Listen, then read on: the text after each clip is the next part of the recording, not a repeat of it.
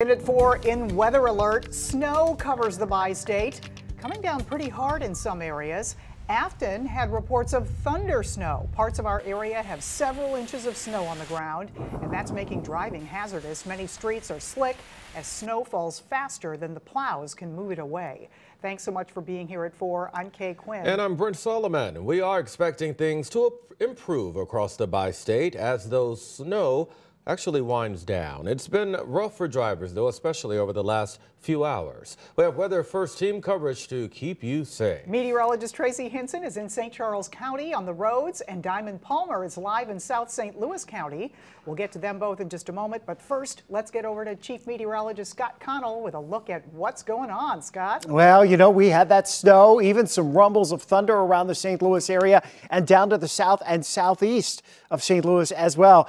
One of our Facebook weather watchers, Dylan, down in Desloge, he caught the lightning bolt, one of them, as the heavier sleet was falling earlier this afternoon before changing over to some snow. Again, there was more of a sleet snow mix as you went southeast of St. Louis. This from just a few minutes ago from Cheryl out in Cottleville in St. Charles County where the sun is now trying to make an appearance. We've got all the radars scanning the skies across the bi-state region and the back edge of the snow is now east and southeast of St. Louis.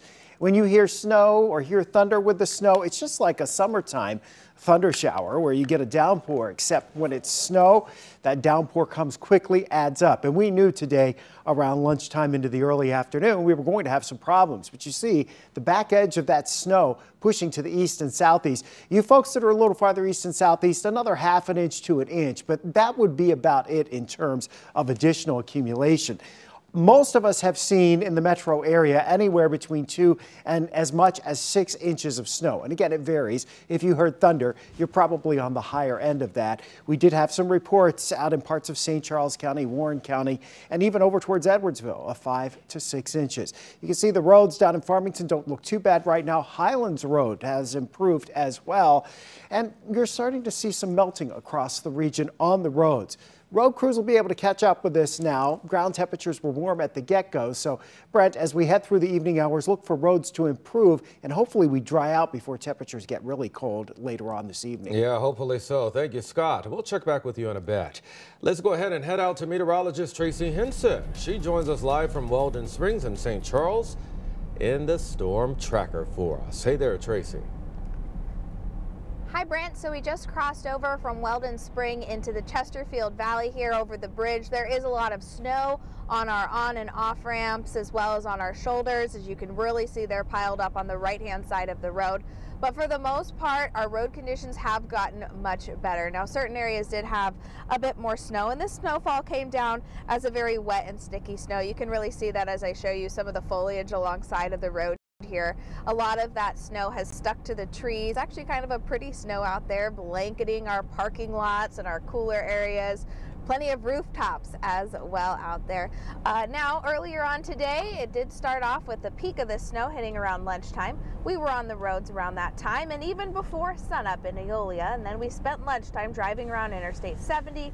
When we hit Bridgeton, it wasn't too bad just icy and starting to accumulate by the time we made it to Wright City. It was a winter wonderland of accumulating snow.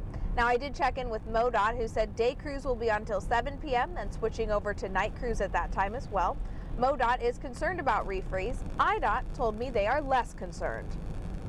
We're always concerned about it, but uh, the wind forecast suggests that it will have time for it to dry out. Plus, uh, once the snow drops, uh, the snow intensity drops, that is, uh, the pavement temperature should rebound above freezing.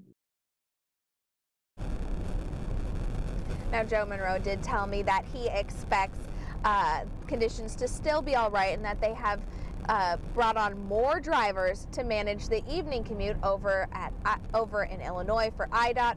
MoDOT sent me that statement at 12 p.m. with their shift change at 7. In the weather tracker, I'm Tracy Hinson, 5 on your side. Thank you, Tracy. And roads, as she's mentioned, continue to be a concern. The winter weather causing a major headache on I-70 right now. Here's a live look from the MoDOT camera in Wright City. You can see the westbound lanes closed due to an accident. That's creating, get this, a nearly 10-mile backup into Wentzville. No word on when the highway is expected to reopen. And many of you tell us you heard thunder along with that snow this afternoon. That includes in South County. Some of you in St. Francois County reported thunder sleet, as Scott mentioned earlier. And one viewer even sharing photos of a lightning bolt. Some viewers in the Metro East say they also heard thunder as snow fell in that area as well. And the Metro East also seeing a lot of snow. Here's a live look from Highland, Illinois. That's about 45 minutes east of downtown St. Louis. Like so many other areas, it's been snowing there since this morning. And here's what it looked like just a couple of miles south in Trenton, Illinois. Snow really accumulating there. Tammy Brandmeier sent us these photos and said these two on the patio were taken 20 minutes apart, adding inches in just moments. Well, Diamond Palmer continues our team coverage for us from Big Bend at I-44 in South St. Louis County. Uh, Diamond, just hours ago, cars and semis were actually getting stuck in all of that snow. Brent, that's exactly right. Just a couple of hours ago, we saw semis and cars getting stuck in all this slushy, wet snow. We even saw many drivers pull into this QuikTrip and just pull over and wait out this snow. Obviously, we are right here in South County in Oakland where we saw a completely different scene, and we want to show you some of that video what we got earlier.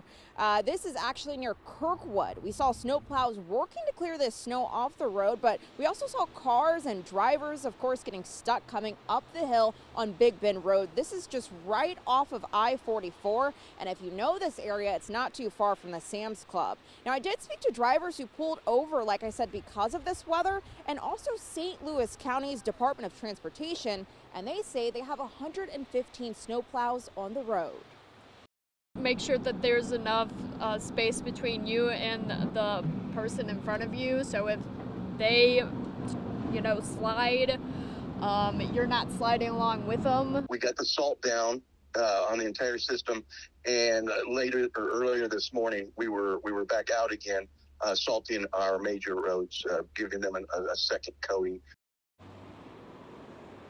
And again, here in South County, just a completely different scene from earlier today. As you can see behind me, traffic is flowing very well and even starting to melt some of that slushy wet snow. But if you are headed home from work or school, be mindful of the visibility on the highway with some of that wet snow being kicked up in front of your vehicle.